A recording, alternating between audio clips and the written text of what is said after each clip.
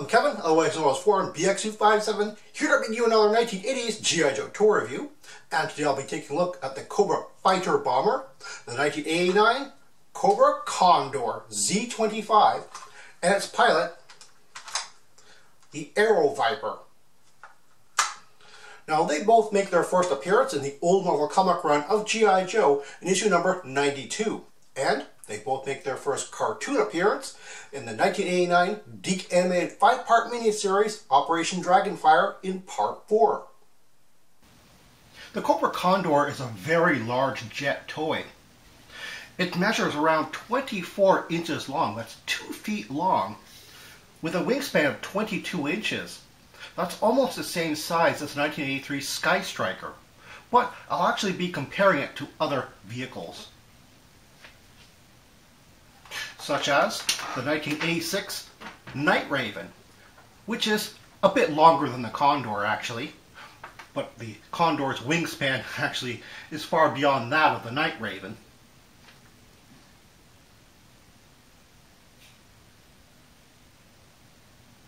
And it's still not as long as the longest jet in the G.I. Joe line, the 1988 Phantom Stealth Fighter.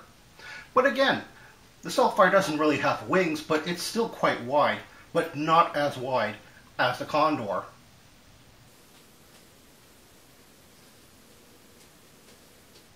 The Condor Z-25 is a daylight strike fighter bomber with some very interesting features. Even the underside of the Condor Z-25 has some really nice sculpted detail, as well as access to landing gear flaps as well as the knobs which actuate the internally loaded wing-mounted bombs.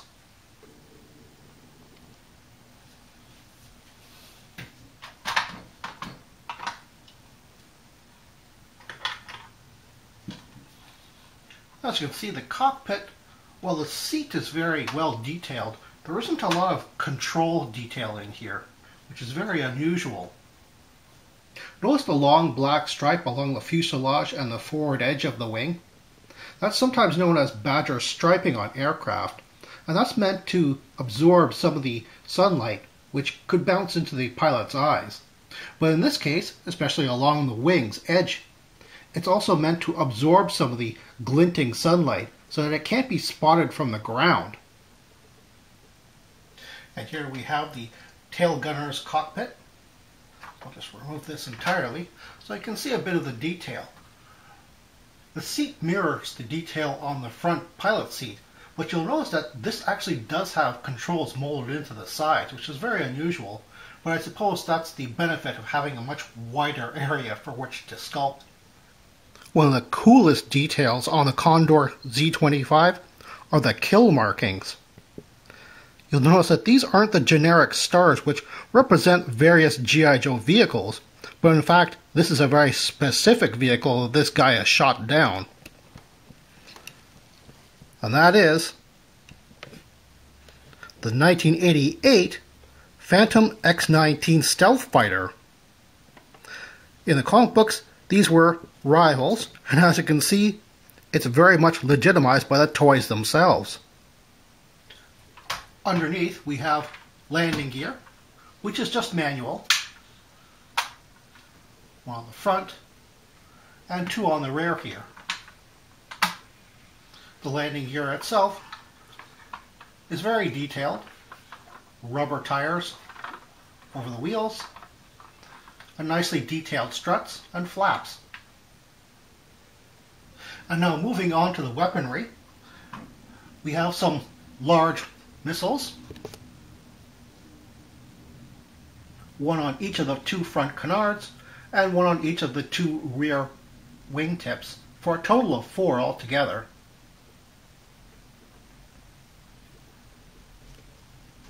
And as you can see, these were just pegged in using the standard G.I. Joe dumbbell peg there.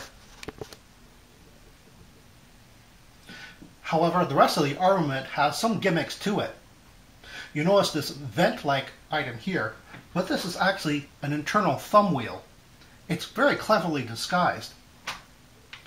Of course, right underneath it, we have a bomb bay for some large bombs. So by sticking your thumb or finger in there, you can rotate it.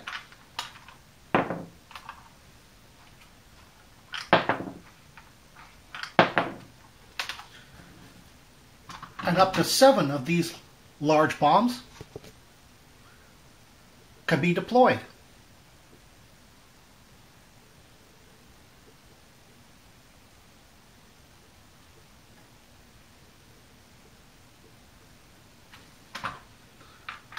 When placing them back in to this slot,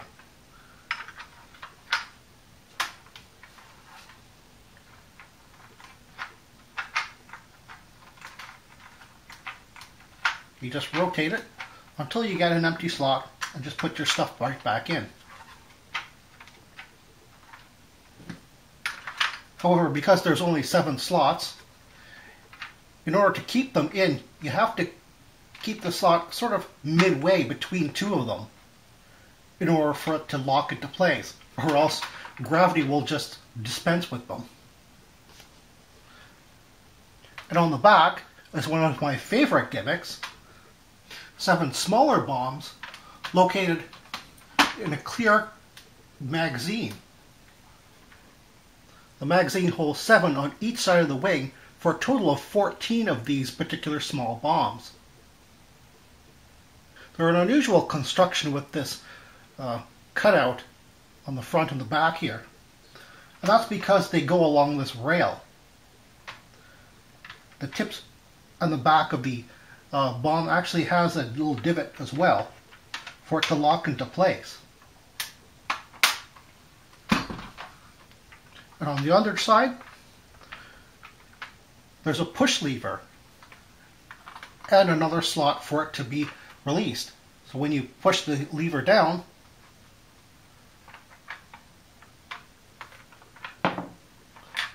out it comes.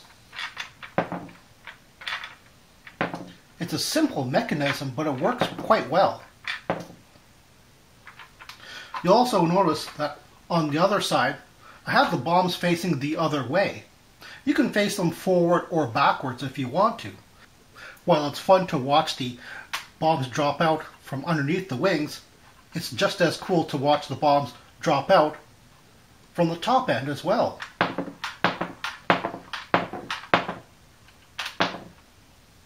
The loss of the weaponry is a little bit controversial because it's the tail gun held in with this circular tail fin. Now, a lot of collectors really don't like the circular tail fin because well, traditional tail fins are usually singular and very straight. And this circular thing, while it's a legitimate aerodynamic device, it just doesn't look very military. It looks like something out of NASA's wind tunnel. However, there's a reason for that as well, because not only can you move the tail gun up and down, but because it's held within a ring, I'm just going to actually uh, push this a bit forward and out just to relieve the tension because mine's a little bit old and warped. But it can move along the ring for a greater range of firing, arc.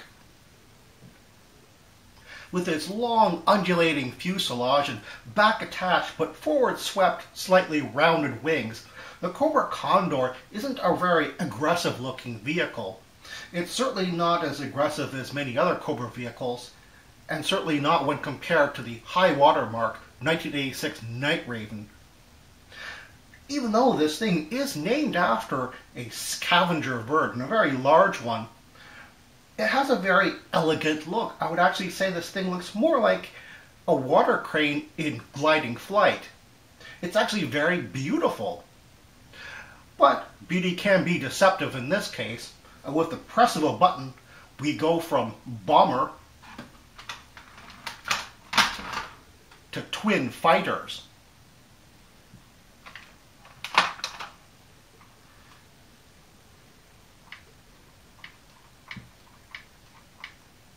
Now we've separated the Condor into two parts. The front part being kind of a rocket-like jet, not having a lot of wings, but the bowed out sections actually do act as kind of a lifting body, I suppose, and you can certainly understand that these canards can be wings. However, we've retained two of the large missiles, as well as the large bomb dropping uh, mechanism here with the seven bombs included. However, now we can deploy a second set of landing gear. And while they're in line, kind of like a giant motorcycle, it still works and is perfectly suited for this. And now with the Condor separated, the back half is actually a little bit more interesting as the forward-facing portion is now the back of this new vehicle with the connection port actually being the thruster.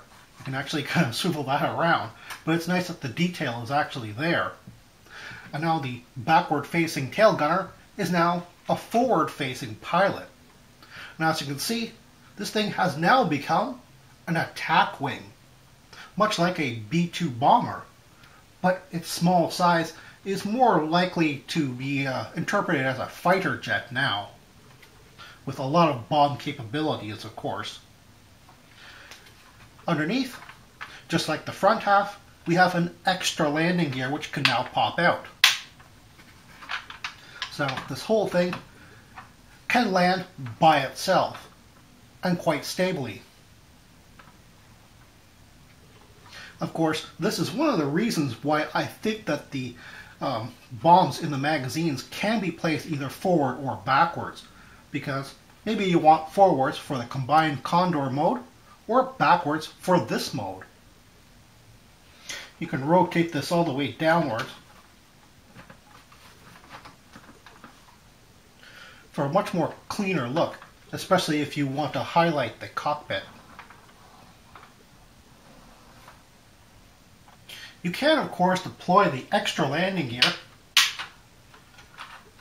in the combined Condor mode, but it's not really necessary. It's really only meant for the separated mode.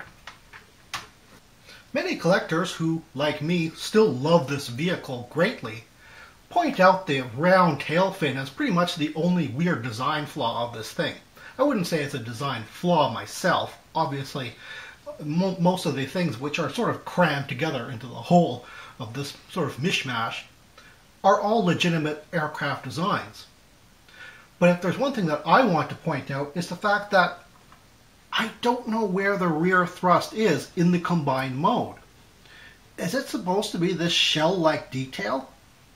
It's very strange that there's just no thrust nozzles anywhere if this was supposed to be its thrust nozzle or, or some type of um, vectored thing, you would think that they would make it a very deep vent-like item like this on the front, but they didn't. I suppose one just has to use their imagination. And now it's time for Does a modern figure fit in it? As usual, I'll be using my 2009 Rise of Cobra Footloose figure.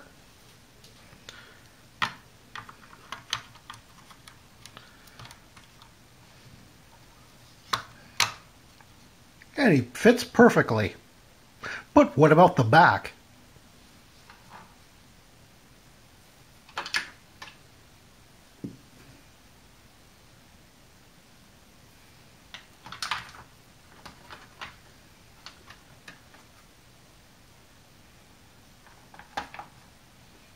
He fits there just as well. The Condor Z25 came with only one pilot, rather unfortunate seeing as there are two crew compartments. But the Aero Viper is a really nice figure with a very interesting accessory. The helmet is removable. It's rather unfortunate that the helmet doesn't have any paint on it because the color kind of washes out some of the detail. It would have been nice if they had painted the visor part black or something. Also, you'll notice that, yes, this is gold plastic, the swirly, sparkly gold plastic, which Hasbro used back in the day. Um, this is also a hard plastic as well. It's not very flexible. So it might succumb to gold plastic syndrome. In other words, it might become so brittle that it'll break apart. I haven't heard any reports of the helmet doing that, but the helmet actually fits on the head, I wouldn't say loosely, but securely. You don't really have to squeeze it on there. So I don't really see the helmet being stressed enough that you would, you know, accidentally crack it. But uh, be careful with it otherwise because it's also the, the part which is very often missing on an Aero Viper figure. The figure itself is actually very interesting. It's a it's a nice sculpt. It's not like way out there like the like the 1986 AVAC pilot, but it's also very curious that they went with this color scheme. It certainly doesn't match the Condor, but it doesn't really match the, tra the traditional colors that Cobra pilots have had in the past. Very dark colors or with a lot of red, as we'll see in, the, in a minute. Also, one very interesting thing about the, uh, the figure is the head. The head sculpt has facial hair on it, and usually that's an indication of an individual figure. But the Aero Viper is supposed to be a generic pilot. You're supposed to have like legions of these guys. So it's very interesting that they went and put the facial hair on there. Another very interesting thing is the uh, sort of Zorro bandit mask that he has going on there. That seems a little strange to have on a pilot head.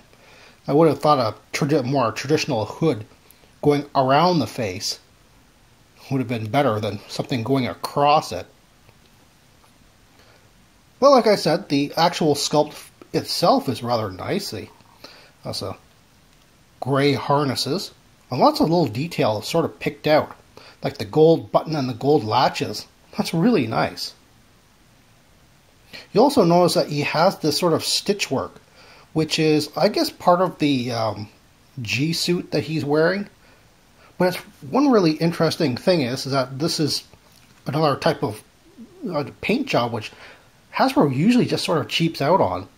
But you can see that the stitch work is, is not like all around his leg here, but actually goes up in a pattern and then up across his waist piece, and then back down across the other leg. And again, this is something which typically Hasbro wouldn't paint in there because this is his waist piece is a black piece of black plastic, so it's very interesting that they went and continued the design. Especially on his back because, you know, he's sitting on there. You wouldn't normally see that, so it's not really a display thing which you absolutely need to see. But it's cool that they actually went and did that. And now just to take a look at what has come before, just to compare them color-wise and sculpt-wise, here we have the 1984 Wild Weasel from the Rattler, who actually is an individual, but, you know, his helmet is not removable, so you could use him as a generic fighter pilot, I suppose. And here we have the 1986 Strato Viper, as well as the 1986 AVAC pilot. Now, as you can see, this is what I'm talking about. He has a lot of red and black, red and gray and black, mostly red and some black, and nothing like that on the Aero Viper. Very strange. But speaking of color spectrums, in 1989, we also get, in the basic lineup, a Night Viper who has a lot of green and black on him. And I think that he makes a great co-pilot, especially if you have a figure which has maybe some broken pegs either on his legs or on his helmet, and you can't quite get him on get the accessories back onto this guy. He makes a great co-pilot, so you don't really have to throw him out or anything like that.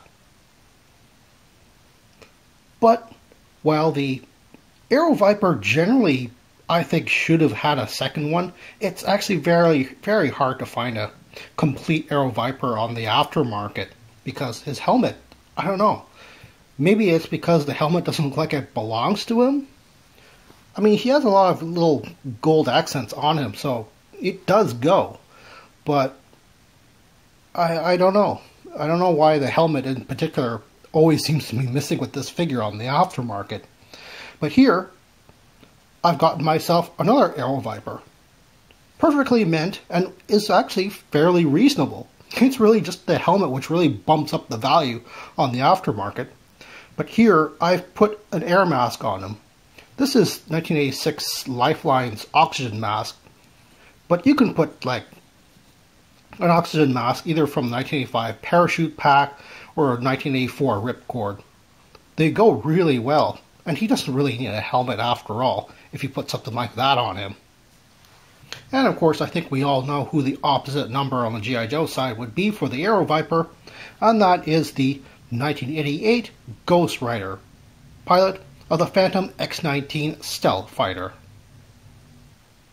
If you're looking for a Condor Z25 or its pilot, the Aero Viper, on the aftermarket, there's actually not much I need to tell you about as far as what to look out for for breakages, because it's actually a fairly sturdy toy, and even the figure is.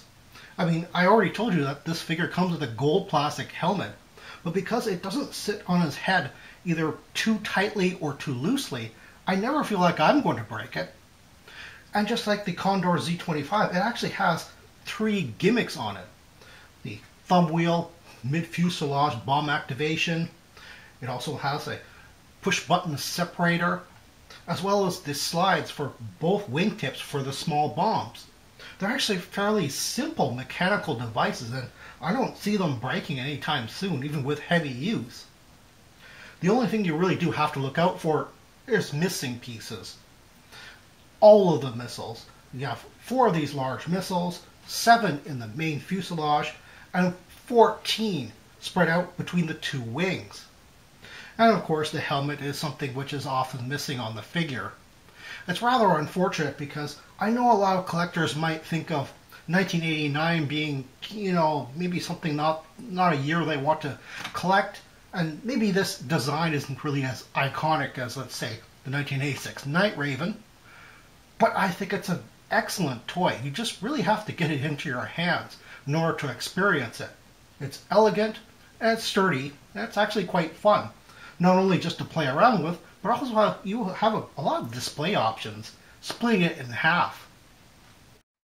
The Condor Z25 isn't fully based on a real aircraft, but is definitely inspired by two at least. While the forward swept wings are generally the domain of fighter craft for their tight turning circle ability, there is a bomber which does have this, the prototype Convair XB-53 bomber. You'll notice it also has the wings mounted nearer the rear of the fuselage, just like the Condor. And, while the separating flying wing is nothing new, I think the designers of the Condor drew inspiration specifically from the YB-49 test bomber, in addition to the flying wing shape, it has two bubble canopies for crew in the front and back, just like the Condor.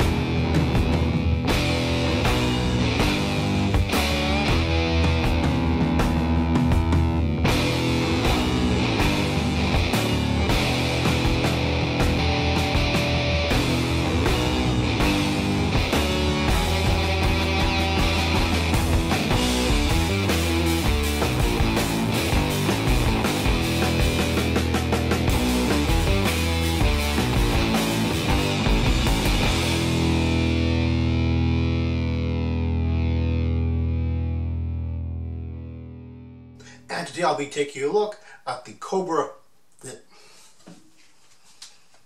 And even though the vehicle, the, the iconic Wild Weasel from 1984 from the pilot. Bleh. Well, that's all the time I have right now. Please check out my Facebook page for more information and behind the scenes photos for these reviews. Thank you for watching this video, and stay tuned for next time to see another 1980s G.I. Joe toy review. See you then.